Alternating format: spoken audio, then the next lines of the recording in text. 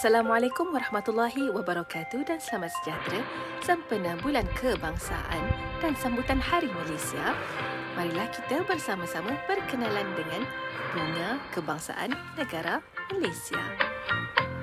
Siapa tahu apakah nama bunga kebangsaan negara kita?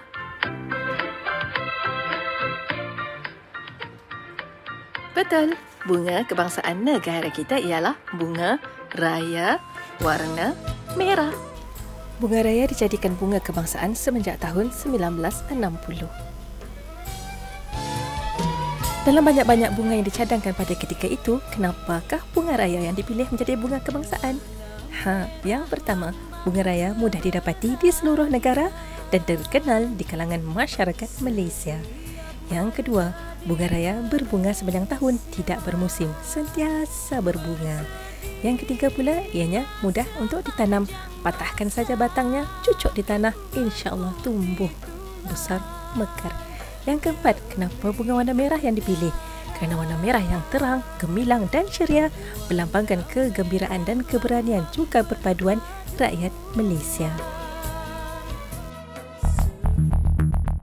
Sebagaimana kita tahu, bunga kebangsaan ada lima kelopak.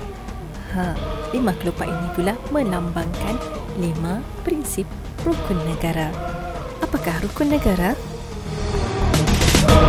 Rukun negara dibentuk dengan tujuan utama iaitu membentuk perpaduan yang kukuh. Prinsip-prinsip yang terkandung dalam rukun negara jelas merupakan kunci kepada keharmonian dan perpaduan kaum demi kejayaan dan kestabilan Malaysia. Mari ikut cikgu lafazkan prinsip rukun negara. Kepercayaan kepada Tuhan. Kepercayaan kepada Tuhan. Kesetiaan kepada raja dan negara. Kesetiaan kepada raja dan negara. Keluhuran perlembagaan. Keluhuran perlembagaan. Kedaulatan undang-undang. Kedaulatan undang-undang. Kesopanan dan kesusilaan. Kesopanan dan kesusilaan. Jom sama-sama. Kepercayaan